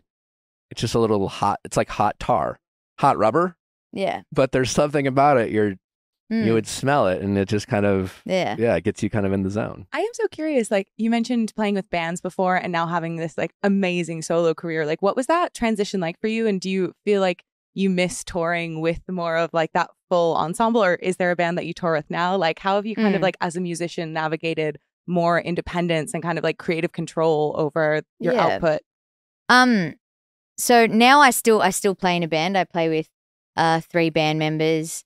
Um, and everyone in the band's a multi instrumentalist. So there's songs that I do singing behind the drum kit, but then I'll get up and play a few songs on guitar, then some on piano, then we just all kind of switch. And everyone in the band's a drummer, so there's moments where it's just everyone's like going ham on drums. But yeah, I guess my career, I was a drummer before I became a solo artist. So I was traveling the world and playing with different bands and working in studios just drumming for people and drums has always been my my main thing and my first love um was always drums and then uh I um always secretly wrote music but it was extremely queer and I hadn't come out yet so um it was kind of like my secret little passion I had behind the scenes that I would be um writing music. And it wasn't until I came out that I was ready to share my music and my like I guess my singing voice and share my my music and so it was kind of like the drums was my protective layer for a lot of years of you know that I hid behind a little bit um and then I came out and then I was ready to just share my story and my music and then it went from there Hmm. Totally. yeah That's great. Should we get to uh, Sweating the Wedding? Sweat in the wedding. Let's All do right, it. let's do it. Probably with the person who has the least sweat ever involved with their wedding. So it's Oh my a God. good, good balance. How's it going? It's going good. How are you? Good. What's your name? Alex, Hi, Alex. How old are you? 23. How can we help, Alex? Well, I uninvited my girlfriend to my sister's wedding. Okay. Is that, I'm assuming that's created some sort of issues or what? What's Well, there's there's been issues before, a little bit before this, but I uninvited her because of these issues. So, okay? And how long has this relationship been going on? Like, what was the drama that uh, happened? about a and then what? year and six months. Okay. So, beginning of May, I graduated from college, and that was a really big deal for me. I had family coming out and everything. And so, to give a little context, she did not come to my graduation. And those are the text Um, messages you sent in, right? Yeah, so Okay. part of it, part of those messages were from my graduation. Like, there's a really, really mean one, and you'll see I didn't, re- I wasn't able to respond for a little bit because I, I was in lineup, like I was really busy. Um, and then the other part is when I mentioned, hey, I don't think it's a great idea for you to go to my sister's wedding. But to give a little context, when I graduated, she was she was supposed to come. I had her take the whole day off. I had my family come, and we had talked about making plans for her to get a ride with my parents because you know traffic might have been crazy and i kind of dropped the ball on that and i wasn't i didn't actually communicate that with my mom i was a little bit busy so it just slipped my mind. And so she got upset that i hadn't communicated that with my mom and she got to my house and she's like you're not even here. Like your parents left already. Like your campus is 20 minutes away from like where i live. And it's not actually 20 minutes it's just 20 minutes because of the traffic. Let's do a dramatic reading. Now, I just want to point out that you have her in your phone as future wife. Yeah. Did you do that or did idea. she save herself? Yeah, great question. She question. well, she has me in her phone as future wife, and kind of gave me a little bit of crap. to save Oh, her I- as okay. future wife. All right. And if I Okay. so we're not so it sure. We're, back- we're like future wife question mark? Yeah, she's like, you haul with me. Yeah. after this, I was like, uh, no, I don't know. G, what, you want to be Alex and I'll be I'll be Alex. future wife question mark? Yeah. Okay. Alex has now become Australian. Okay. Okay. Thank you. Be sure to bring a book or sketchbook. Good morning. No worries. I always have it. I'm on my way now. Here. Hello? Question mark? Question mark? You're not even here? Question mark. Fuck's sake, this is a place 20 minutes away. These are all individual texts. Yeah. Um, Mhm. I'm trying to find somewhere to park. I have no idea where to go. Did you not tell me they were supposed to take me with them?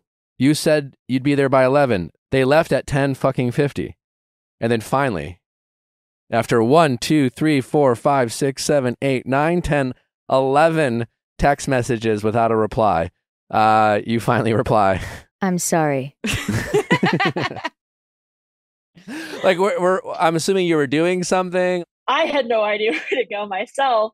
So I had to go find parking. And even when I left at like 10, I was like, there was a graduation before. So I was having a hell of a time figuring out where to go. And so I had to get all dressed up and lined up. So why I wasn't responding was I didn't see any of these until I actually sat down Gotcha. in the stadium where we're graduating. So I'm I'm all in lineup, not seeing any of this. Okay, so she wrote back, I'm going home. Enjoy the day with your family. Period. Period. I'm sorry again. yeah, well, maybe next time you can spare five fucking seconds to tell your mom the plans that directly involve her. You know, so I'm not desperately trying to find parking soaked with sweat in a 90 degree car. Does she not have air conditioning? No, her car doesn't have AC. Okay. Uh, on an But it was also 60 degrees that day. To, Okay. just saying. so, like, roll down a window, maybe? Yeah. she she does, I Okay. guess. I don't know. On an empty fuel tank, that's a her problem. Yeah. Uh, 10 minutes after the ceremony has apparently started. No response. Did, what, you were just at the ceremony or? Well, yeah, I just I didn't know what to say to that. I'm like, fuck, because it just felt just when I first read that, I was like, why am I being blamed for all of this? Like, I'm sorry you're in a 90 degree car and your gas tank's on empty, but uh, what do you want me to do about Yeah. that? Like, I'm sorry I dropped the ball in communication. That's why I just said I'm sorry. I hear you. And, like, just just a small small note. Yeah, I know. Even when you don't know what to say, there's nothing more infuriating. Even if she's kind of overreacting and things like that, Mhm. just like there's nothing worse than being ignored. Hindsight's 2020, but like even if you just said, again, I'm so sorry. Let's talk about this when I'm not here. You know, like obviously you don't want to mm-hmm. get into it very text, but like I'm sorry. Obviously there's some miscommunication, and hopefully we can talk about it later on or something Yeah. like that. Which I was going to say, and then she sent that, and I'm like, all right, no, I'm not responding Okay. Yeah. that pissed that pissed me off. So I'm more of the person who, when I'm upset about something, I need to take a step back and be like, okay, are my feelings like valid? Like before I start like like getting upset or like talking, I need to just take a step back and just evaluate what's going on and seeing like, is this okay for me to do? Like, yeah, totally. That's why like, in that situation, you're just like, you don't engage in the fight. You're just saying, hey, again, Mhm. like, I'm sorry for this miscommunication. Can we talk about it when we're not both, you know, feeling disconnected or whatever it is? There's a ton of mis- miscommunication in this. And I would also like to point out she was talking to my mom, like she was texting my mom on like where to go and the details for the graduation. And my mom was like, Well, if you can't figure out what to do, like you could just go home, hang out with my dog Bentley, and like at least be there to go to lunch and dinner with us. Like she wants you here and she'll be really happy even if you're not able to come to the ceremony. And what really just got to me was that she just gave up and left. Okay. Mm. And so, just to be, you're you uninvited your girlfriend because you just think it'll be Yeah. just a headache, essentially. Well, it's just it. It's, there's just been tension with us, and so pretty much she vented all of her feelings to me. And every time I say, "Okay, I'm sorry, I understand where you're coming from," I'll say that at one point in the conversation, and then we just drop it and don't talk about it again. With my sister's wedding, one, my it's it's a small ceremony in Hawaii, and she's not paying for any of it. My me and my parents are paying for her flight, her stay, her food. Like it's a big expense on our part. And then with just this tension going on between us, I didn't think it's a good idea. And my sister doesn't know her. and what did she have to say about that? Well, I also pointed out, I was like, hey, I this is just what I'm thinking about. You know, I want, you know, like we want to communicate more. This was just on my mind. Um, I'm open to talking about this more in person. She was she was not happy. What did she say? It it kind of resulted into a whole thing where she's like, I'm tired of forcing myself in your life. I'm tired of feeling unwanted. I'm not a crazy abusive girlfriend. That Where- was where in did- there at one point. Where did, where did crazy abusive come in? I don't know where any of this came from. She just kind of spiraled into talking about her feelings, making like how I made her feel unwanted just by saying that. I'm like, I understand where you're coming from. I just I didn't want this to result in that because I want to talk about this in person so nothing got misconstrued over what I texted. And it mm-hmm. just like a tumble hill. Do you want to be in this spiral relationship? when we're together I, I love her and i love spending time with her and we have our like inside jokes and it's fun hanging out with her and just being with her there's these times where she'll just act like a child or like not really hear what i'm saying and I, she has to get all of her feelings out. She's just super anxious all the time which is really hard for me because if i don't respond for a while she starts freaking out or the immediate assumption is like if she upsets me or something is that i'm going to break up with her. Like ever since that happened with graduation, it's kind of like put a crack in like what I see, and I'm like, ah, I don't know if I see this being long term or or like having a future where we get married or something with like that's the future wife with a question mark thing. I think there's a lot of like a lot of communication that needs to happen between you and your partner. Like I notice when you talk, you say she gets anxious when you don't like text back and then she feels like you're ignoring her. You know, that's as simple as like a communication thing. If you know that she gets anxious if you don't reply, maybe that's when, yeah, like um, Nick said, you can text her being like, well, let's communicate later. Like right now, I'm busy because then that stops her anxious mm-hmm. and her freaking out when you're not replying. Well, it happens when I'm at work and she knows where I am, so she just she'll just be like, "Why aren't you responding right right away?" And I'll be like, "Kind of kind of doing stuff." Yeah. Do you reply just at work? Can't talk now. I'll reply when I see them, but I don't always see them Yeah. as fast. And then that's when she starts getting more anxious because I'm not seeing them yet. Have you had replying. Have you had like a sit down conversation with her, being like, "Look, darling, like." You know, you, you text me a lot, but I'm I'm really busy. Like I'm at work. I don't want you to think, you know, the reassuring talk with her. You might have had that conversation. Mhm. I'm just wondering. Yeah, we have. And like she she's like, No, I totally get you're at work and like I'll try to be better about it. And I'm like, okay, like Okay. I it's it's not a problem of like messaging each other. It's just I can't always respond as fast as you would like me to, or I'm not always seeing these. And she Yeah. still just gets a little bit anxious with all that. Have you ever gone to her when things aren't escalated and when you're not necessarily fighting over a particular topic and to say, hey, listen, like, can we talk? When one of us is are upset or when, when you're upset with me, I feel like I'm just like responding via text and it's never efficient. And I just wish we could communicate more effectively when we are upset with each Mhm. other. And have you kind of made that request not in the heat of the moment? So every time I say, Hey, can we talk? Instantly it's are you breaking up with me? Okay. So I think I should start like, hey, can we talk about this? But then I know like if I say like I want to talk about this in person, she's just going to keep going over it in text, and she also pressures me. So if I just leave it at, hey, can we talk? Like I have something on my mind, she'll be like, well, why can't you tell me right now? Why can't you go over this over text? And we'll just end up texting about it Why don't you just wait till you're in person to bring because up? then she freaks out, and I always, I almost, I No, no, I mean, like, don't- don't- once a week. don't bring up the, hey, can we talk over text? Oh, Because yeah, I mean, Mm. if I'm, it's like, hey, I got to tell you something, but I can't tell you now. I Mhm. want you to sit on it for a week. I, yeah. Yeah. I would. yeah, Yeah. That would make me anxious. Freak out. Get yeah, as- anxious. if she's an anxious person, she's gonna have various triggers. So, you know, it's not your fault, but there are things you can do to try to avoid triggering an anxious person. If you don't want to have conversations via text, don't even let her know that there's a conversation that you want to have via text because either you're going to have to talk to her about it or it's going to feel like torture for her to sit there and wait to like stew over what it is. And you know, like you're like, "Oh, well then I'll just I'll just let her know it's not a big deal and I'll give her this little nugget and then all of a sudden you, you know, like 20 minutes later you're having a full-on conversation about the topic that you want to talk. Yeah, you know, so you just have to like avoid bringing it up all together and to sit down. And then when you do talk about it, instead of saying, "Hey, you know, can we talk?" You know, always hit them with the compliments first. It's like, "Babe, I love mm-hmm. you." Like, "Oh, by the way, you know, you look great today." Hit them with some love. Hit them with some words of affirmation. Hit them with some security about why you're feeling good about her or why you love her.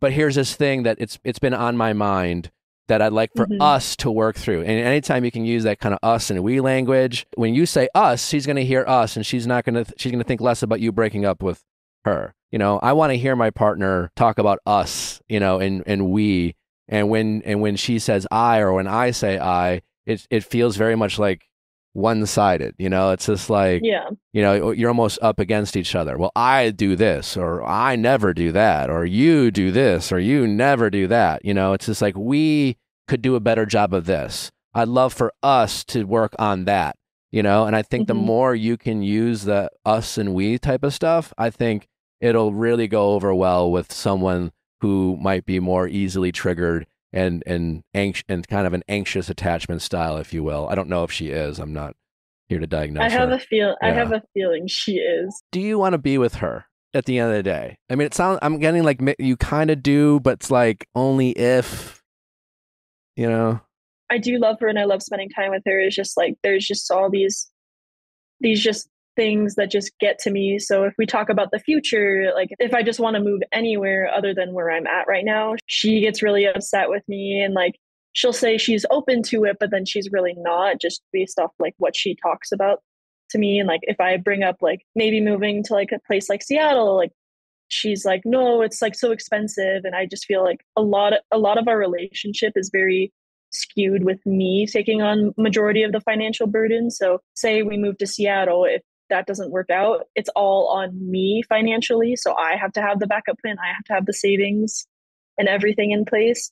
It just feels like like I love her, but there's a lot of logistics that I don't feel like are working, but I still want to try. Well, Sure. I mean, we always we never want to quit on the people we love, but I'd love to hear from Mhm. you. What are things about your relationship that you think are worth fighting for? just our overall like dynamic like we we get each other like i don't even have to like say anything we just look at each other and like kind of know what we're thinking and like we're very similar in like what our hobbies are like it's just fun to spend time with her and even do just like even if we're doing nothing i just enjoy her presence What is something that you think you two are really compatible over?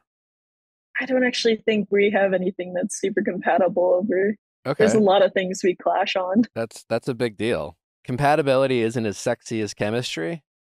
You Yeah. know, people love chemistry. It's just like, oh, I feel so much chemistry with you, and it's amazing, and that's hot, and we love the passion.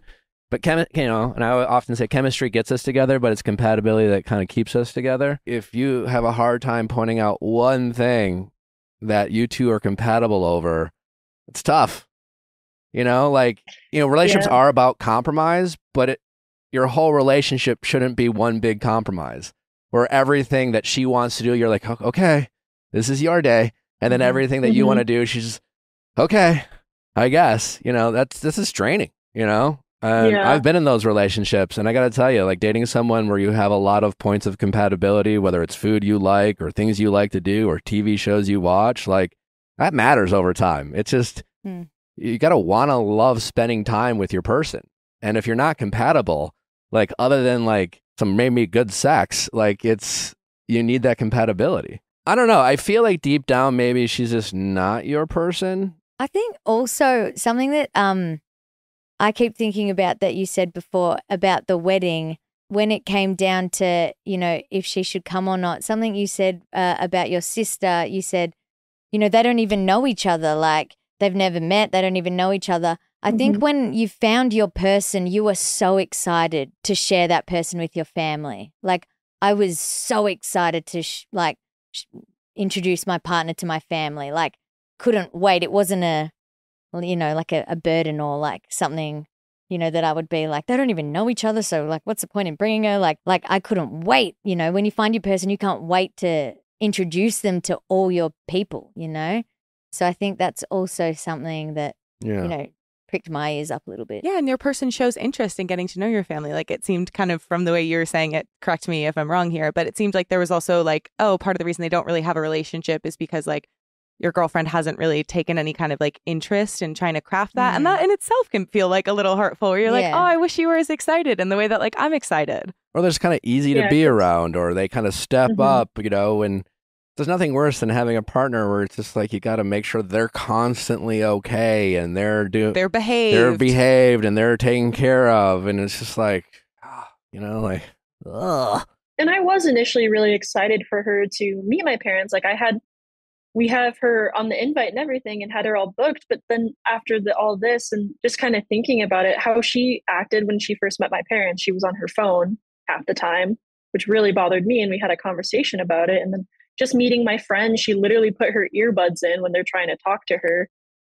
yeah. And so it also just like thinking about it, it makes me really nervous for her to meet the rest of my family because that can be really intense for someone. And I know she's more on the introverted side and a little socially awkward when it comes to like big groups of people. So then just thinking about that, I'm like, uh, this makes me nervous. Like they're not gonna like her. And like I was really excited and just all these reasons are coming up for me and I'm like, it's not a good idea. Does she recognize her introverted personality and her awkwardness? she does. And as someone who can be introverted and awkward, like, does she go out of her way? Because you can't just keep saying, "Well, fuck it, I'm introverted, I'm awkward." You you Mm. can't just. It's not an excuse to be a dick. I know it's Mhm. it's harder in group settings. You get a little bit more emotionally taxed, you know, un- unlike an extrovert. But like, you could say, you know, sometimes I have to say, "Oh, sorry, babe," or I need to, all right, but you have to like get in the zone for your partner. She should know it means a lot to you for her to connect with your friends. She should know it means a lot to you for her to connect with your family or to like blend in with your family. And she doesn't seem to be willing to do that. Even after our conversation, like there's not much of an effort to like bond with them or really talk to them. Like the last time my parents came in, because she's met them a few times, like she really only responded like if my dad like said something, she didn't try to initiate any, any conversation or anything of the sort. So here's what my gut tells me based off of talking to you. And I've been in your shoes before. And, you know, uh, is this your first girlfriend, second? Or like, or- No, this is this is my second girlfriend. Okay, so but ear you know, you're 23, early in life. You know, when we're younger, you Mhm. have future wife here on your phone. I think often in early relationships, we meet someone, we get super excited, you know, and you start talking about your hopes and dreams, and you put future wife in your phone. And I have no doubt that you care about her and that you love her and that you wish her the best. But I feel like most of your relationship is based off of the idea that you have for this relationship and the promises you guys made to one another early in the relationship. And now it's just a struggle. And you spend a lot of mm-hmm. time in this relationship stressed out, anxious, making sure she's okay, wondering if she's, if uh, she's okay, making sure that, you know, or being frustrated with her that she's not stepping up and, you know, making it a priority, the things that matter to you, et cetera, et cetera. And I think you're feeling this guilt inside about the idea of breaking up with her because of all these promises that you two made to one another early in your relationship. And I guess I'm just here to say, like, listen, people can break up. You have the right to realize that maybe she's not your person and that, you know, maybe that you two just aren't compatible. And sure, you could you could go to couples therapy, you could try all these things, you could exhaust all your options, but you know, I asked you what is something that is you, you two are compatible over? And you had a really hard time giving one answer, and that's okay. But I think maybe you just need to you know, have that honest conversation with yourself first and just realize that maybe there's just not a lot here to keep trying and that well you give it you gave it your best shot, but you know, you need some you need compatibility at, on some level about something Mhm. to make a relationship work and I just think you're just feeling a lot of guilt and a lot of fear about disappointing her and for all the questions of are you going to break up with me? Are you going to break up with me? That makes it extra hard knowing if you do want to break up that you're going to be the bad guy and she's going to like throw things in your face. I fucking knew it. You're going to always fucking, you know, do shit like that. And as hard as it is, I think the best thing maybe from what I hear is that she's got to rip the band-aid off and she might hate you. She might think you're the bad guy. It's okay. She will heal Mhm. and get over it, but I don't think this relationship is serving anyone because it just sounds like a lot of anxious people just kind of being unwilling to face the truth that maybe you two don't bring out the best in one another. Yeah, if you find yourself feeling bad, like she probably should spend some time on her speaking as like the person who's been the like why aren't you responding to my text like she should probably spend some time on her own and feel a little bit more self-sufficient or she should date someone who is super responsive and can give her exactly what she wants in that department so Yeah. like don't feel bad because you're setting her like you're letting you're setting both of yourselves free so that way you can both find situations that like serve you more You have the right to be happy and you have the right to be with someone you're compatible with and you have the right to be with someone who brings more contentment and calmness and peace into your life rather than anxiousness and frustration and sadness. And I think G made an excellent point. You should want her there. You should want to have the person you love at your sister's. I mean, it's great to like be in love at a wedding. Mm. It's so great, you know, because you kind of look to your partner's side and like that could be us someday, you know, and like everyone who's in love, who, who's at a wedding, feels a, a bond, and everyone who's at a wedding in a relationship that doesn't feel that connected, it's like a it's a really great litmus test, you know, to be at a relationship as a couple because it either is going to elevate you two and feel make you guys more connected, or it's gonna you're gonna feel like this kind of awkward divide between the two of you, and I, I feel like in your gut you you know where you you two stand. I definitely do. I just it's just so hard because of that guilt that I just I feel bad and I just don't know how to even approach that subject. Just You just like gotta of you just gotta her. you gotta do it. Yeah. And you got to do it in person, not via text. Yes. yeah Yeah, yeah, yeah, yeah. yeah, noted.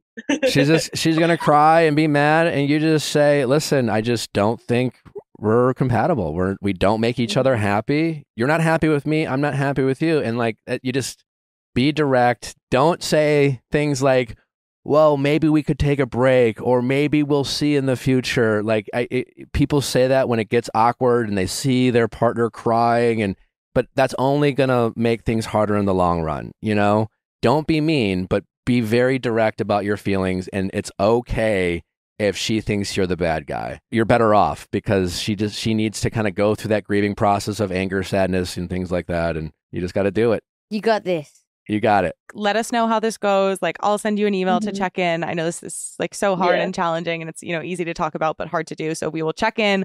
We really want an update. Unfortunately, has to wait till next weekend because I can't. That's okay. I don't see her this week, and she works, so I'm like, mm. That's Yeah. okay. just don't. Just don't. I mean, the good news is you between uninvite her to the then. wedding. She Mhm. might see it coming. You know, it's like, yeah. Mm. yeah, Yeah. it's okay. This She's is seen it coming for a while. There you go. Yeah, kind of No. got to save the date of breakups. All right, well, keep us This posted. I'm sorry you're going through this, but I really think it's for the best. I, I feel like in your Mhm. heart of hearts, it's it's what's you're doing this for the both of you. She won't see it right away, but I promise you, it's for the best. You got this, darling. All right. Thank you. All right. Take care. Thanks for calling. All right. Bye bye.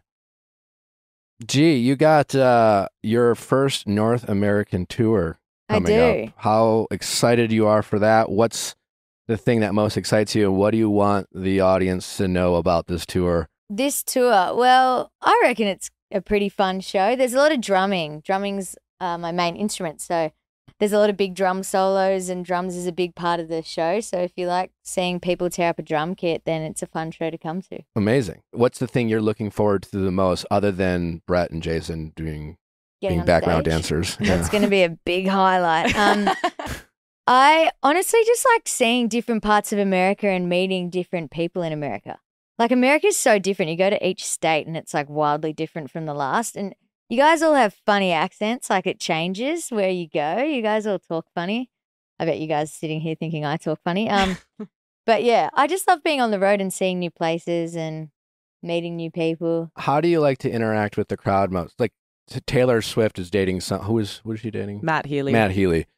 He goes around and makes out with the crowd, which seems a little aggressive, but hey, to each their own. Do you have a thing? How do you like to interact with the audience? I mean, stage presence it seems to be such a big part of being a rock star and engaging. Like, do you have a go-to thing to how to connect with your audience? I definitely go down to the pit or down to the front and hang out with people. Sometimes I jump the barrier and then I get involved with everyone. But yeah, I do a lot of talking in between songs as well. So there's a lot of banter that goes down, some chats. But yeah, I like to, if people are lining up beforehand, I like to go say hey, because I used to be that person that would line up outside the venue. And, you know, I was a big music fan in Australia. So I like to hang out after the show and before the show with people. And, um, you know, the fans and people that come to your show is the reason that I have my career. So I'm always very thankful and I try to reply to as many people after the show as I can before bed to say thank you for coming to my show or stick around and sign some t-shirts or anything. But people that come to your show, it's the whole reason I have a job.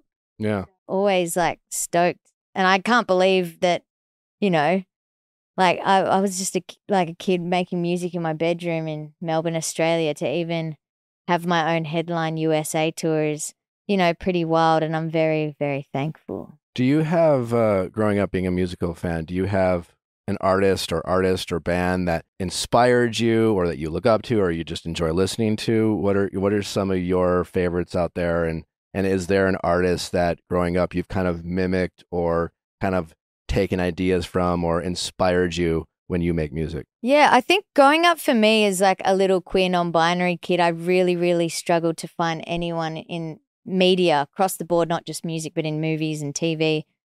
Um, I really, really struggled to find an idol. And I know that if there was an artist like me, openly like queer, non-binary, and drumming, it really would have changed my life. If I, you know, watching MTV as a kid, you know, I really like I'd look up and the Pussycat Dolls and Beyonce, and there's so many artists that I was like, it's just not like me. I want to be more like Travis Barker and take my top off and just rip up a drum kit. So I really struggled with finding an idol when I grew up because I just didn't have any representation that was anything like me. The closest I had was my drum teacher, Jenny, that I met when I was 12, 11, 12 years old and taught me drums from when I was t- 11, 12 till like 18, 19. Um, and she was amazing and she was dressed like I wanted to dress and played drums and did backing vocals and she was exactly everything I wanted to be growing up. So I found my idol in her um, and just wanted to follow in her footsteps. What is your kind of dream in terms of your career goals? Like Mm-hmm. uh, you're already very successful, you're a star, but where is there anything in terms of uh, a, a fantasy that you have, you know, uh, when it comes to your career that you will be like, holy shit, this is this is it. Yeah, I think um, for me, the most important thing is just my general happiness. I think you can win as many awards and sell as many concerts out, but if you're not happy at the end, then what's the fucking point? I think what brings me the most joy in my career, which brings me the biggest smiles, is seeing my favorite people, my like loved ones. So like Mhm. my dad and my mum and my sister and my stepbros and you know, Chrishell, seeing them all so happy and the joy that I bring them. Like my dad is an accountant, but he wanted to be a rock star and he my first memories of him was playing in shitty bars and I thought he was playing in a fucking arena, but he was playing to like five people in a shit dive bar in Australia. He wanted to be a rock star, but getting to bring him on the road brings him so much joy. And I've brought him out on stage a couple of times. So, That's awesome. and getting to take my mum to see Billie Eilish, mum was like, you know, classic mum, like had her phone out the whole time. I'm like, mum, you're not even going to watch these videos back. But she was like, it was the best concert for her. And she thought it was so fun. And being able to provide for my loved ones and through my success. And obviously, I love playing live and I grew up playing drums and playing in wedding bands and all these other bands. So I just love being on stage and that interaction you have with band members and playing. But I think overall, I love my loved ones and seeing Yeah. their reaction to shit is really nice to be able to do that as a job. Yeah, musicians love to do collaborations. Is there a musician out there that you would love to collaborate with? Like maybe do drums, like play drums with along with Travis Barker or something else? Or Yeah. have you ever thought about something like that? Yeah, me and Travis have worked together. We made a cool track. It is not released. I'm not sure if it will get released, but he's Mhm. awesome. He's got a drum room with like eight drum kits in it. It literally blew my mind. And he showed me all his drums, and I was just like in awe. It was the coolest thing. But yeah, there's lots of artists I want to work with, or I just feel like at heart, I'm such a musician. So even just drumming on people's records, I don't like it doesn't need to say featuring G Flip, but just like, you know, working in the studio and putting drums on people's songs. I feel like early 2000s, there was a lot of drum kit on pop music. And then it kind of became like an artificial kind of 808 drum beats and stuff. And I think now in pop music, it's kind of coming back, real drum kit at least. So, um, yeah, just working on people's records behind the scene as well as you know getting up and featuring drums on someone's performance at a festival could be cool anything even just like getting up and doing a low-key wedding gig on drums would be fun Do you want to play at my wedding? Or fuck yeah bro All right. yeah. hells yeah That'd be epic. All right. yeah little that. drum drum feature I'm gonna text now. and Be like, found a drummer. Hey, G, I have a question for you. yes Um, you mentioned not having someone to look up to growing up, especially that reminded you of yourself or in any sort of media. I recently saw a TikTok of these two, I think they're little Australian kids. yes And the brother is like talking to the little sister Yeah. and talking about you. And yeah the sister, you know, is saying she's a great drummer. And the brother's like, yeah, but they're they, them, they're non binary and goes Yeah. down this whole little rabbit hole. What does that mean for you to hear not only like, I don't know, people Mm. talking about you in general, but little kids who are not only in awe of your music, but you as a human being? Yeah, I've actually got tears in my eyes. That video like makes me cry fully. Yeah, it means so much. I feel like, oh God, I don't want to cry on this. I feel like growing up, I had so many dark times not understanding my gender and not understanding what it was to be non binary. And then, um, you know, trying to, uh, uh, oh, I don't want to fucking cry on here. No, I'm crying. cry. Everybody's all crying. um yeah uh uh just thinking about my own journey and not understanding myself as a kid and having so many dark times and dark days and then um you know me just being so unashamed to be myself and trying to be so as authentic as I can be to tell my story and be that voice for the next generation. You know, I think about that a lot and um that video really confirmed that oh, holy shit like you know sometimes you know me just being myself is bigger than I thought it could be. So, yeah. that video like blew my mind. And it's just so simple and the way that little um um these little kids just talk about being non-binary is so pure and so easy and it it's so relatable and it's so easy to understand kids like it's not too hard for them to understand and um that video was just so emotional for me Mm-hmm. and then you know i just think it's great parenting and she didn't interject she just like listened and it Yeah. was just so cute Well, the So- boy nailed it. No, he had the perfect it. little definitions. I loved it. And the little sister is just like, okay, sounds good. yeah violet's she's like yep yep that's cool Yeah. yeah. i get it and then the mum goes so um so how do we how do we say that? And they're like they're a good they're a great drummer. They're a good drummer. It's just really really really cute that you know these conversations are being had and you know kids are getting it and it's just you know moving the needle to i think a more accepting beautiful future for people that are gender diverse. Um all it comes down to is education you know? So yeah it was fucking cute. That's great. Uh, G, it's been such a pleasure oh dude you. thanks for Um, having me It's Great been getting to know you. Congratulations again on the uh, the wedding. cheers Can you just you know anything final thoughts? You know where can people you know get tickets to your tour? Any other performances you have coming up? You know please plug away uh, all the great things that you're doing. Yeah, I'm playing a few shows across the states for Pride this June.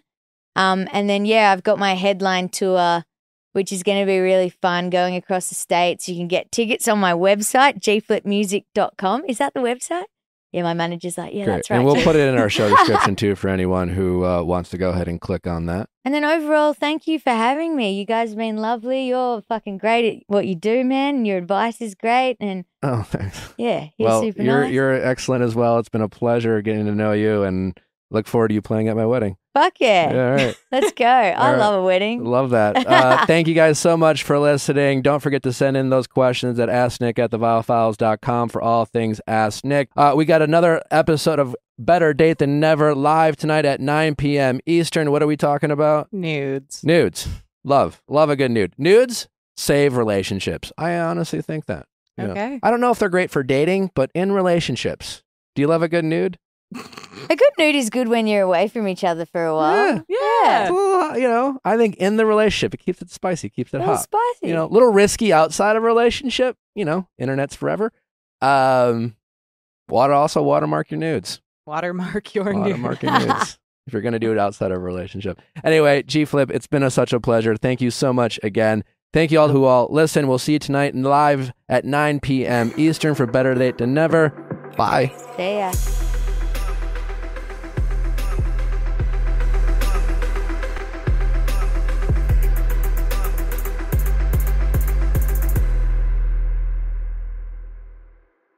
Hey guys, if you loved what you listened to, make sure you hit that subscribe button below. Thanks for listening. We'll see you next time.